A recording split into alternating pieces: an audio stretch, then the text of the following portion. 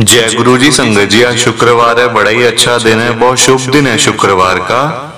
संगत जी थोड़े दिनों में धनतेरस आने वाला है दिवाली आने वाली है बड़े बड़े त्योहार आने वाले हैं संगत जी। गुरु जी। की अपार कृपा होती है इन त्योहारों के ऊपर। इतना संगत जी फेस्टिव सीज़न आने वाला है कि मैं आपको क्या बताऊँ? और गुरु जी मेरे को इन दिनों के अंदर ये सत्संग मेरे से शेयर करवा रहे हैं। मेरे को बड़ा ही अच्छा लग रहा है संगत जी। आज का सत्संग सुन के आपकी सारी परेशानियाँ खत्म होने वाली हैं। अगर आपके घर में कोई परेशानी चल रही है, कोई दिक्कत चल रही है संगत जी तो आज वो खत्म हो जाएगी सिर्फ़ और सिर्फ़ इस सत्संग को सुनकर।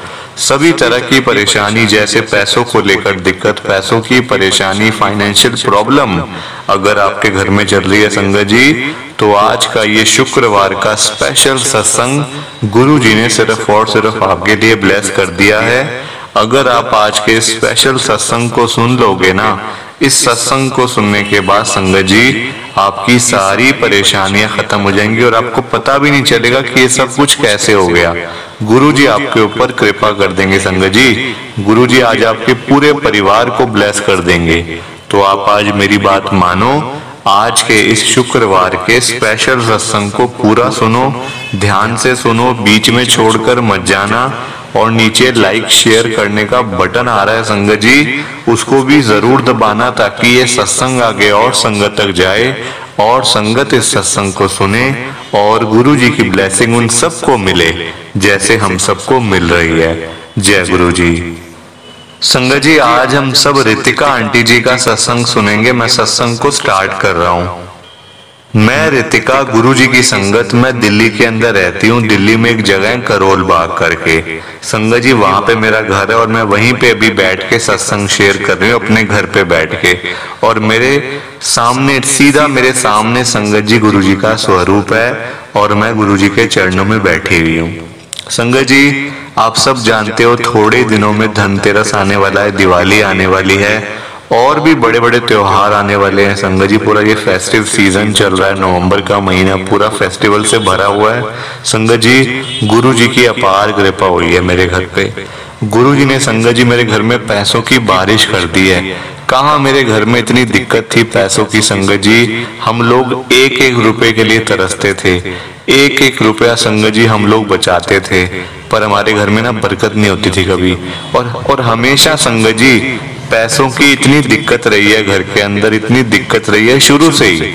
जब से संगत जी हम लोग छोटे थे, बचपन से हम देख रहे हैं कि पापा को इतनी दिक्कत आ रही है पैसों की, कभी आप जॉब कर रहे हैं, कभी कुछ कर रहे हैं, कभी कुछ कर रहे हैं। संगत जी, ये सब कुछ हमने अपनी आँखों से देखा है। और अब संगत जी, गुरु जी ने साक्षात हमारे घर के अंदर पैसों की बारिश कर दी है। आज मैं आपके साथ एक एक बात शेयर करूँगी। प्लीज़ आप सत्संग को लाइक करते जाइए शेयर करते जाइए। नीचे बटन आ रहे हैं दोनों। और हम लोगों ने संगत जी कभी किसी को देखकर ऐसा नहीं किया कि हमारे पास ये नहीं है या हमारे पास वो नहीं है। संगत जी हमने कभी किसी को देखकर ऐसी बात हमारे मन में कभी आई नहीं। जबकि संगत जी मेरे जो चाचा ताऊ हैं संगत जी उन, मतलब उन सब के पास अपने घर हैं अपनी गाड़ियाँ हैं अपने बिज़नेस हैं और मतलब खूब सारा पैसा है। मेरे पापा ही हैं संगत जी उनमें से एक कि ना तो उनके पास जॉब थी कोई और ना ही कोई काम था पक्का ना कोई बिज़नेस था। तब भी संगत जी, हम लोग ना तीन बहने हैं। संगत जी, मैं तीन बहने हूँ। ये मतलब मेरी दो दो बहने संगत जी बड़ी वाली हैं। मेरे पापा ने मेहनत कर करके संगत जी मतलब इतना स्ट्रगल किया उन्होंने अपनी लाइफ के अंदर कि मैंने कभी किसी को नहीं देखा इतना स्ट्रगल करते हुए। हम तीनों बहनों को उन्होंने पढ़ाया, लिखाया, इतना बड़ा किया, इस काबिल बनाया कि संगत जी, हम लोग कुछ कर सकें। और गुरुजी ने आज वो कृपा कर दी संगत जी। हमारा अपना घर नहीं था पिछले तीस सालों से। संगत जी, मेरे पापा रेंट के घर पे ही रह रहे थे और मेरी मम्मी भी। हम लोगों का जन्म भी संगत जी किराए के घर में ही हुआ था। मतलब हम लोग ना बचपन से हम किराए के घर पे रह रहे हैं। मतलब तीस साल हो गए मेरे पापा मम्मी की शादी हुए हुए पूरे तीस साल हो गए हैं संगत जी। मतलब तीस सालों से भी पहले का संगत जी मेरे पापा का कोई घर नहीं था। आज गुरु जी ने हमें घर ब्लेस करके दिया है संगत जी। वो भी इस नवंबर के महीने में धनतेरस से पहले, दिवाली से पहले संगत जी गुरुजी ने हमारे घर पे पैसों की बारिश कर दी है। और ये सब कुछ कैसे हुआ, ये मुझे नहीं पता। अचानक से संगत जी, अचानक से मतलब जैसे होता है ना कि अपने आप कुछ चीज़ें हो जाती हैं, और पता भी नहीं चलता ये सब कुछ कैसे हुआ। हम लोग सोचते रह जाते हैं कि ये हुआ कैसे हुआ कैसे। पर वो करते तो गुरुजी ही हैं संगत जी।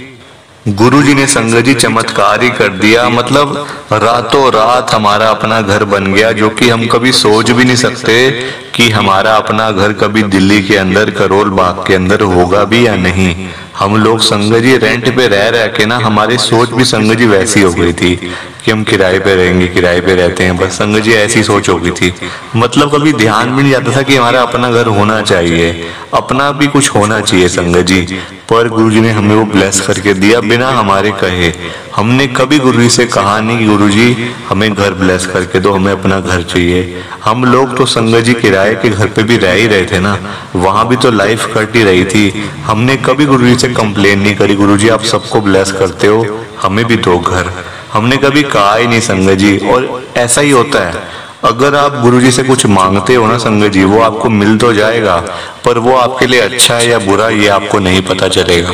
वो तो आपको मिलने के बाद ही पता चलेगा कि वो आपके लिए अच्छा था या नहीं।